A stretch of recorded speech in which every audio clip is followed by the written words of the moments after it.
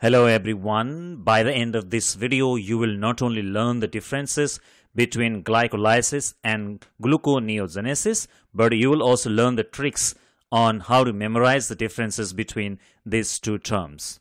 If you look at this word glycolysis, glyco, it means glucose. Glyco, it means glucose. And lysis, lysis, it means breaking down or break down okay? Lysis it means breakdown so in glycolysis the breakdown of glucose occurs. Whereas gluconeogenesis gluco it means glucose gluco means glucose neo means new okay? Neo means new. And genesis genesis means production or synthesis. Genes genesis means production or synthesis. That means that gluconeogenesis refers to the production or synthesis of new glucose molecules. So the first difference is that glycolysis involves a set of reactions that convert glucose into two pyruvate molecules. Okay, so in this, in the glycolysis, glucose is converted into two pyruvate molecules.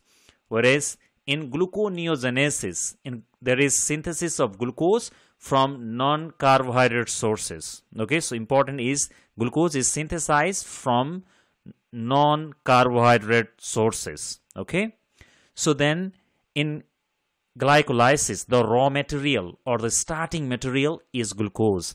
Uh, in glycolysis the raw material or the starting material is glucose whereas in gluconeogenesis the raw material is non-carbohydrate source such as lactate amino acids such as alanine and and also as well as glycerols, alcohol such as glycerol.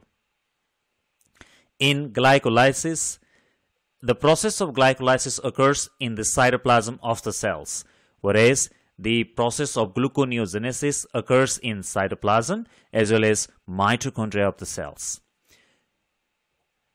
Glycolysis is a catabolic process. Why? Because glucose is broken down into pyruvate molecules. Glucose is converted into pyruvate molecules. Therefore, therefore it's a catabolic process.